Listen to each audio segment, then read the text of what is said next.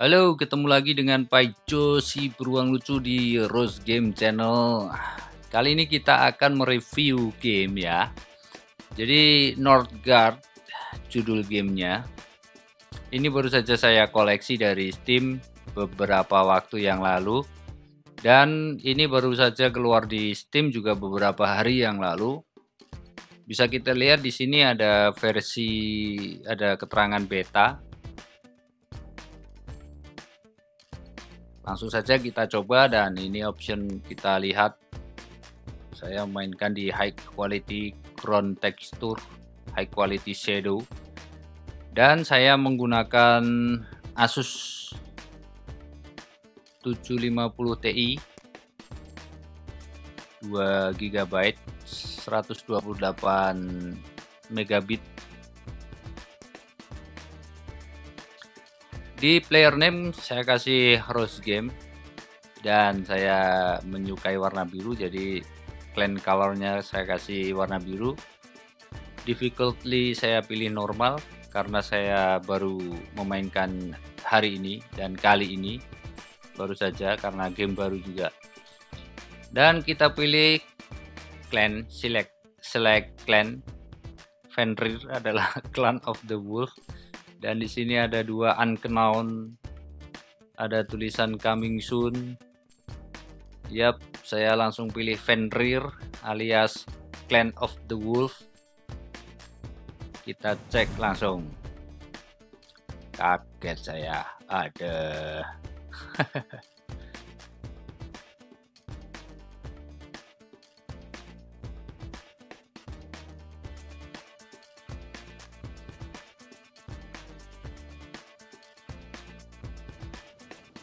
Yap, ini dia. Seperti kita lihat, tekstur mirip sekali dengan game Banis. Ya, di sini kita lihat inventory. Food kita punya 21. Wood apa ini? Crowns. Stone, iron. Populasi hanya tiga penduduk atau villages civilians Yap, kita bikin house. Karena house ini di setiap game city build pasti sangat penting sekali ya. Jadi makanya saya pilih build house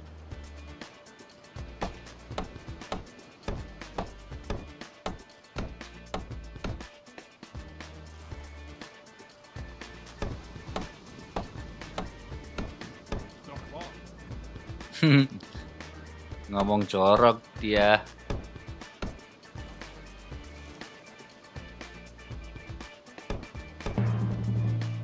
tung seperti itu suaranya setelah buildingnya jadi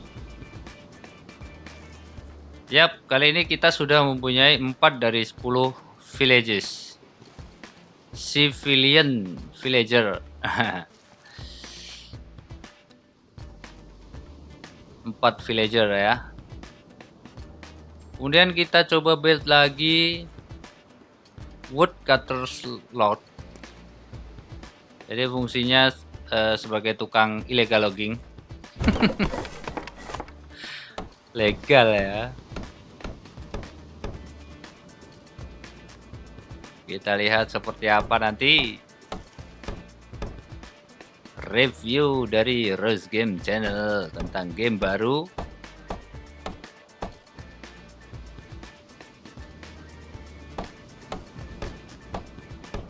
Ini simbol klannya bendera warna biru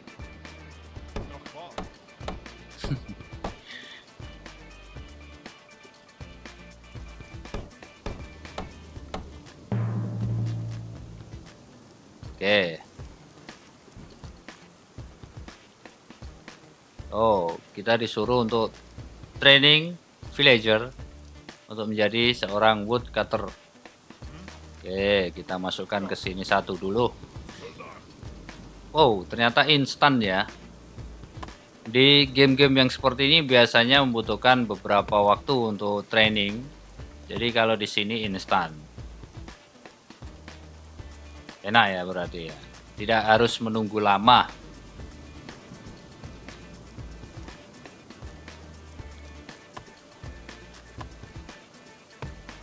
Dan kita lihat apakah ini nanti bisa kita upgrade eh, bangunannya atau hanya ada pilihan destroy. Saya juga belum menguasai game ini 100% dikarenakan memang game baru rilis dan masih dalam early access. Jadi masih dalam proses penyempurnaan ya kembali lagi kita bisa membuat healer. Ini seorang dokter.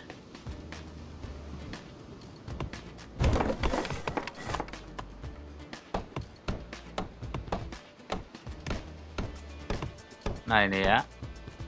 Will heal your wounded or sick and members dalam bahasa Jawa adalah seorang dokter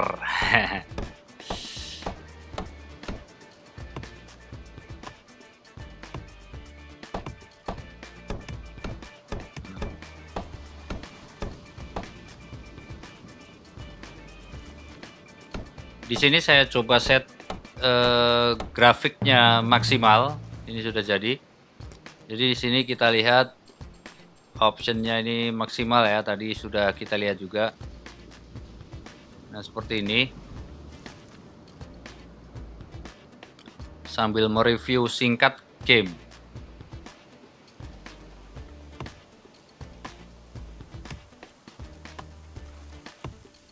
ya kita coba bikin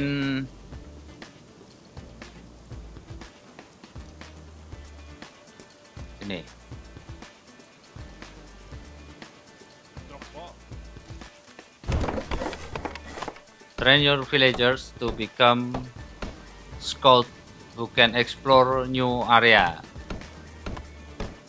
Artinya apa? Silahkan ditranslate dengan Google Translate.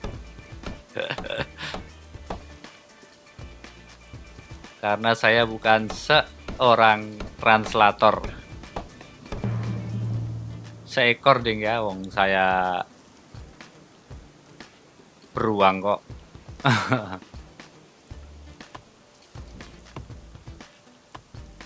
Scout. Coba kita training apakah bisa? Oh ya bisa. Ada apa itu? Oh ya ada serangan Wolf, wah. Belum apa-apa sudah diserang ini kasihan. Jadi kalau kita mendapatkan serangan dari musuh, areanya di map juga ada tanda merah. Di sini kita bisa lihat tanda merah tadi ya.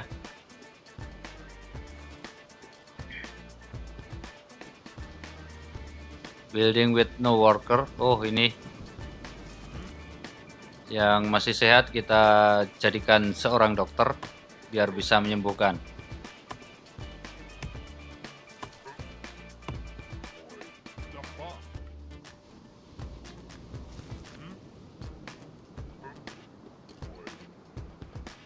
Gimana ya caranya healing?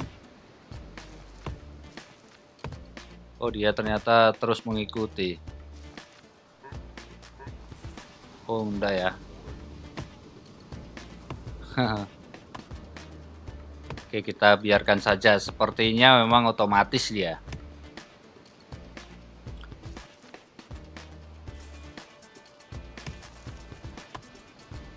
Kita sudah mempunyai 8 dari 10 woodcutter. Maksud saya civilians jadi kita tambahkan woodcutter supaya dia lebih cepat menambah wood stock food uh, stock wood ya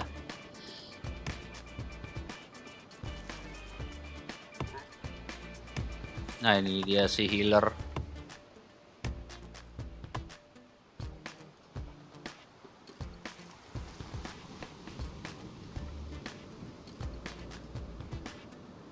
Oh, dia mengumpulkan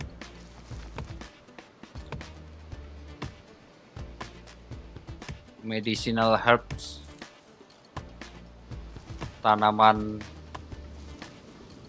medis medicine yang akan dijadikan sebagai obat. Jadi herbalis.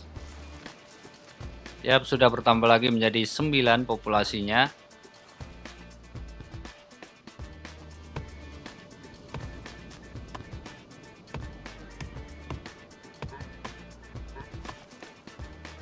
Mana tadi yang penyakitan? Oh, sudah tidak ada yang penyakitan.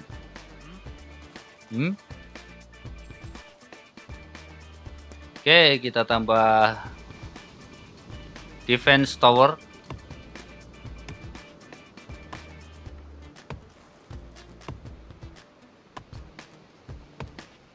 Apa ini yang dibutuhkan juga tidak ada pemberitahuan ya. Masih ada yang kurang. Lag ternyata ada lag.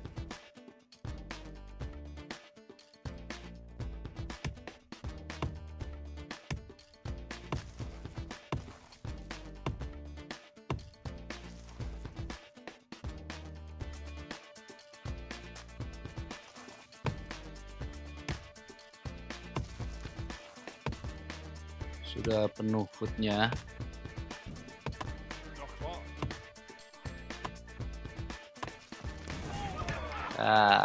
Kita bikin tertawa semuanya.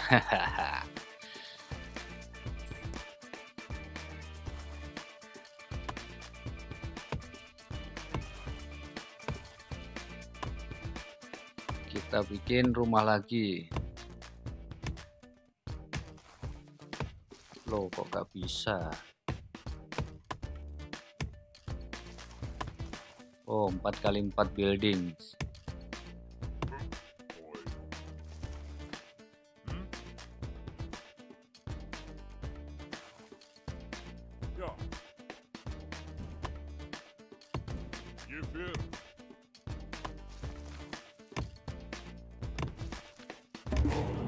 Dia akan mengeksplor uh, area baru. Dia proses exploring. Mencari area baru. Oh ada serangan serigala lagi nih.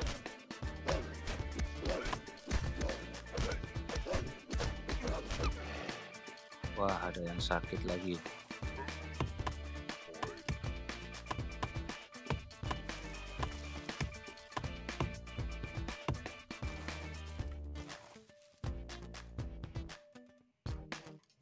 sepertinya auto healing.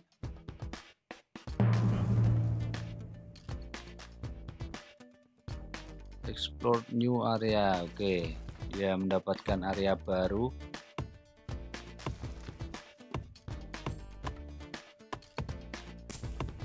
Apa ini? Oh. Jadi area baru uh, baru perlu di colonize Oke, sudah melebar.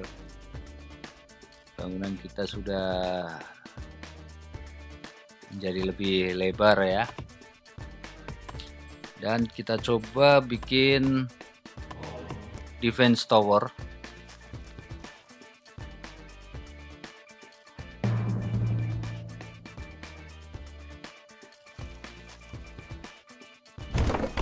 Oh, bisa kita bikin defense tower di sana.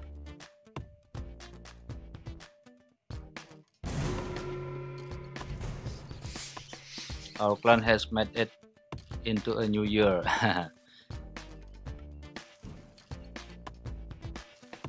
Apa ini? Kita klaim dengan menggunakan 40 makanan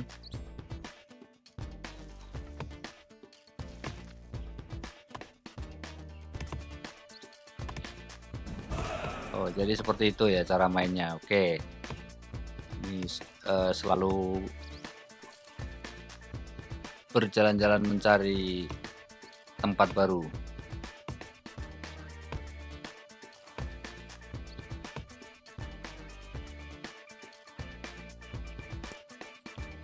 dan kita bisa meletakkan nih training camp di sini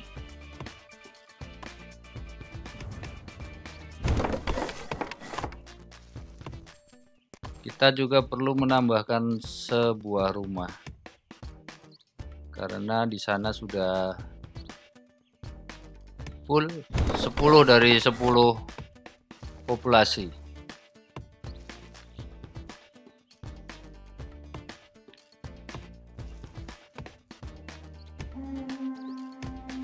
Under attack. Need to defend ourselves wah ini.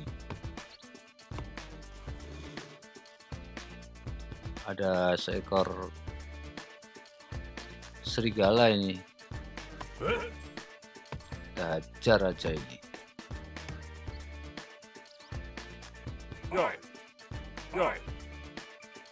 Hajar serigala. Wah, wah.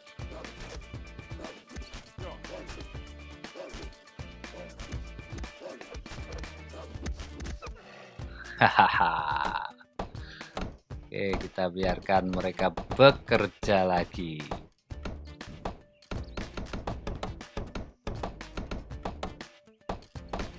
Building with no worker.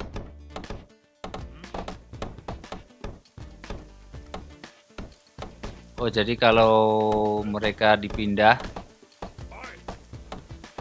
mereka secara otomatis tidak bekerja seperti biasa ya.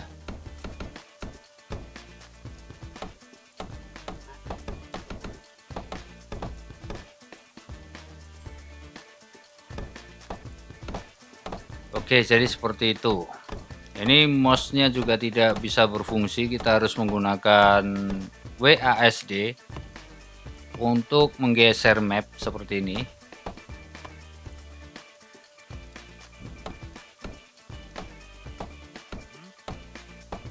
Ini untuk yang clan member have 20% reduce production. Penurunan kinerja Oh ya ngomong-ngomong soal ini mouse tidak bekerja ini ya. Jadi ini kita jauh dekat menggunakan scroll kiri kanan atas bawah menggunakan WAS WASD seperti ini kiri kanan kiri kanan atas bawah. Seperti itu. Oke demikian review singkat dari si Paijo beruang lucu. Kita akan lanjutkan besok setelah kita fit lagi karena kita sudah lelah sekali update beberapa game. Jangan lupa like dan subscribe. Kembali lagi saya ingatkan kita akan mengadakan bagi-bagi game nanti setelah kita mencapai 2000 subscriber. Ya jadi kita bagi-bagi game gratis dari Steam. Jadi kalian tinggal bikin akun Steam nanti add Steam saya Paijo si beruang lucu. Kemudian akan saya transfer gamenya. Akan saya kirim giftnya. Ya seperti itulah nanti ya jadi jangan sungkan untuk subscribe karena subscribe-nya gratis. Dan sampai jumpa dengan Pak Jody pertemuan berikutnya di game berikutnya. Dadah.